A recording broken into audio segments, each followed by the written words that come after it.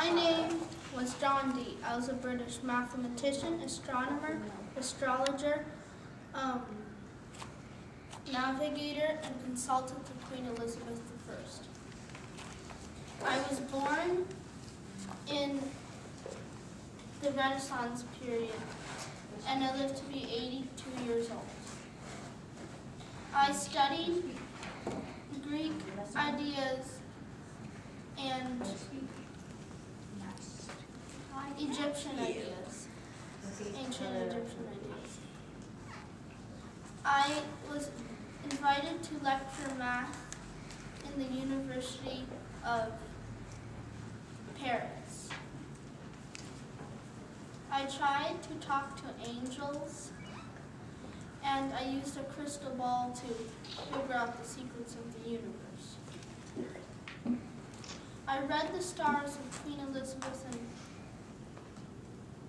Queen Mary and Elizabeth, Prince Elizabeth,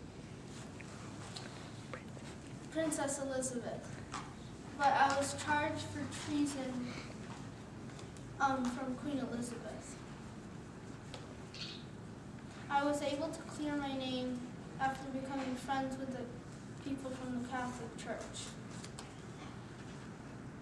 I worked as Queen Elizabeth's advisor, consultant, and you can pick the day she was crowned.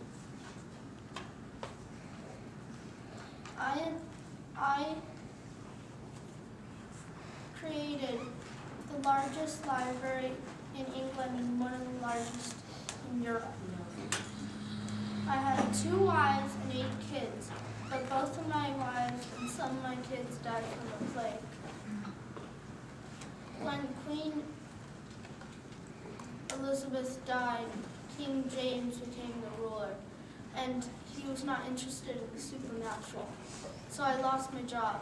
I became a poor man, and I had to sell lots of my books and mathematical and scientific um, instruments. I died a poor man. Thank you.